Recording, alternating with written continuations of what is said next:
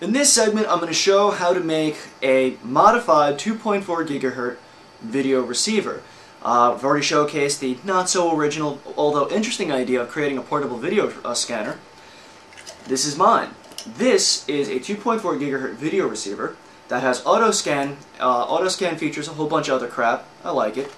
Modified with a panel mount uh, N connector coupled into a 15 decibel gain helical antenna using a Game Boy Advance as a primary screen, a 9.6 nickel metal hydroxide, uh, 1.6 amp, or 9.6 volts at 1.6 or 1.8 amp, eh, either way.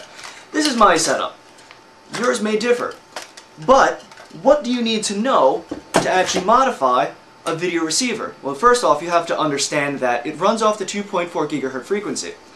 And that is what we call a microwave frequency. Frequencies have names. UHF, VHF, super high frequency, blah blah blah blah. This is microwave. So that means you need to have coaxial cable, the type of cable to carry that frequency to your device that's rated for microwave. Now, this is uh, RG6 coax. This is commonly used in satellite and cable TV installations. You see this? This is 75 ohm coax. This is completely wrong. Do not use RG6 or RG8 or RG58. You have to use microwave class cable. No, Niet. nein, no, stop, forget, no RG8. Okay? No RG6. Don't use it. For the love of God. No. Whoa, whoa, did I mention? No! You can't use it. What can you use? This. This is LMR 400. I have to I have to personally thank both Dave and Andre Croy. Dave helped me out by obtaining the appropriate radio connectors, and Andre Croy helped me out getting the cable. LMR 400. LMR stands for Land Mobile Radio. This is microwave cable. This is designed for in excess of 6 gigahertz. We're operating at 2.4, so this is good. The problem is, it's stiff, it's bulky. How in the hell are you going to attach this bulky cable to something that has such a small little piece of coax coming out of it. Well, that is where lower diameter LMR 195.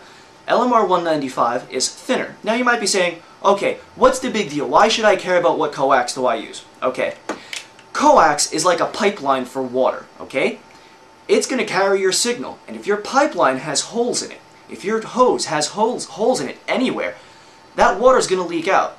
So if you use RG6, RG8, RG58, RG58U, any of the other lower frequency cables, your signal is going to leak out of the side of it and you're going to get signal loss. Significant amount of signal loss. And your signal is measured in decibels or dBs. Now, having a thicker coax means you'll have less loss. The problem is it's bulky and it's unwieldy. It's very difficult to go and run short lengths of this because it's so unwieldy. But the thicker stuff is good for really, really long runs. The thinner stuff is good for shorter runs. All of my handheld devices that I'll be showing you how to mod and create in this series will be either using LMR 400, LMR 195, LMR 100, or LMR 200 coax cable. Primarily LMR 195 and LMR 400. They are the two easiest forms of microwave uh, coax that you can get your hands on. Um, I'll try to put some show notes up on where to get it. We get into that later. I think I've explained enough about coax. So, you got your hands on some coax, how the hell are you going to go and connect it to your device? And let's go to the table side and I'll explain RF connectors themselves. Again, I'd like to personally thank Dave and Andre for getting me a lot of these connectors and the coax cable that I'll be showcasing. But uh, with enough, enough ass kissing, let's get on to the, the connectors and such. Okay, let's start out with some commonly used stuff, okay? Here's my Linksys router. My Linksys router has something called an RP TNC, or reverse polarity TNC. Okay? Um, I've got an RP TNC adapter around here somewhere. I got so much crap. Here we go. Here's the mating end. Now, I really don't feel that I should have to explain male and female to you. Um, really, you should have an understanding of the difference between what male and female is. You know, what boys have and, you know, girls don't and vice versa. So, this is a reverse polarity TNC. This is a reverse polarity TNC. but I don't feel like making custom reverse polarity TNC antenna cables just for this, so I bought an adapter. And this is going to turn it into an N connector. Here is another N connector. This is called a panel mount four-hole N connector. They also come in a two-hole variant, which I didn't purchase because I don't care. Um, this is another form of panel mount, but this one is designed to crimp onto LMR 195 cable.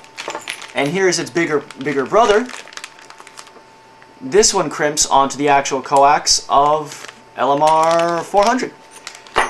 We also have something called panel mount. Now there's a little little nubbin and a little nut where we're going to be using this little guy later to uh, build some antennas.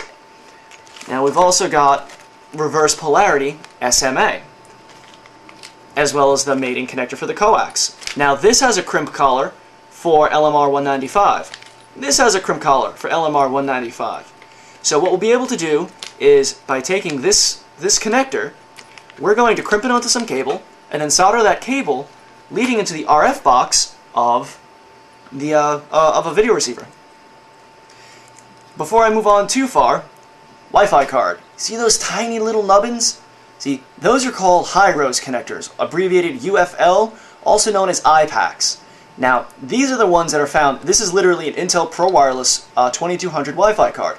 These connectors are not rated for, for more than 50 insertions. They're low usage. Once you plug them in, don't remove them. So it'd be a good idea if you want to have a, a Wi-Fi card, like here's my tablet, which you guys see often. I've built in a reverse polarity SMA on each side, and here's a simple, crappy rubber duck antenna, to, so I have an antenna. And here's the adapter that goes from reverse polarity SMA to N, so I can use big beefy LMR 400 on little itty bitty crappy, uh, crappy uh, reverse polarity SMAs. Okay, I've tried to explain as much as I can off the top of my head. I'll put a lot in the show notes. I'll put a lot of pictures up. But let's get on to the mod process, shall we?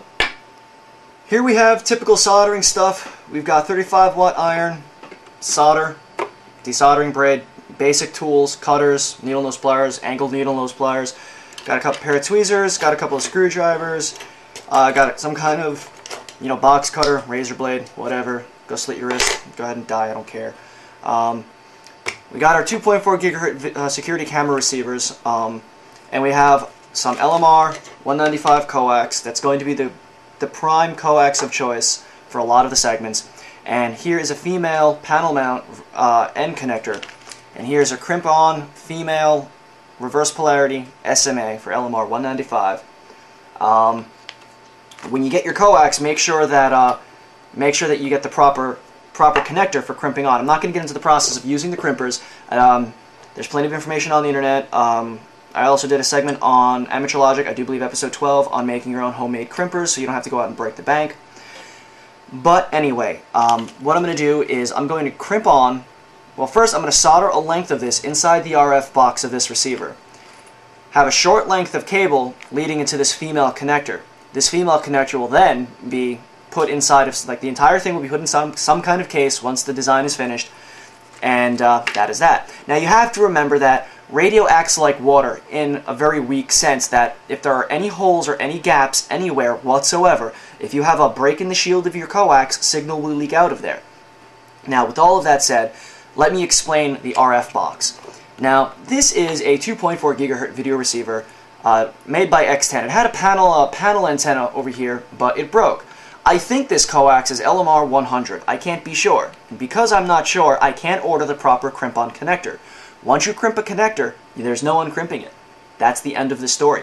Now, yes, you can use this coax right here and solder your center conductor right in like so, but how are you going to get that shield to make sure that it shields the outer signal? You'd have to kind of bend and flex and solder the coax. Here, let me see if I can get a better, better connector. You'd have to solder it like that, which is explicitly what I've done in my other scanner. But this isn't the appropriate way of doing things. It's not a good idea. The best way of doing this is either running the coax directly into your antenna, like like they did here. This just solders directly into uh, into the antenna, or replace the coax with a known, better form of coax with the appropriate radio connector. So this is one of my earlier model scanners that I did all my experimenting on. That's why all the crap is hanging off of it and it looks like crap. But anyway, they have these solder points that have these little wires that hold the shield on. So using your soldering iron, desolder that off. And here's the inside of the box. Inside of this box, if you notice, let me see if I can get a good shot, you can actually see the center conductor and, and the shield. Now this entire box is a radio shield. Metal reflects and contains radio waves. So when I put the, this top panel on, this isolates everything inside. It's shielding because this circuitry is very susceptible to interference. So what I'm going to do is I'm going to carefully uh, desolder the center conductor, desolder the surrounding shield, and take this off.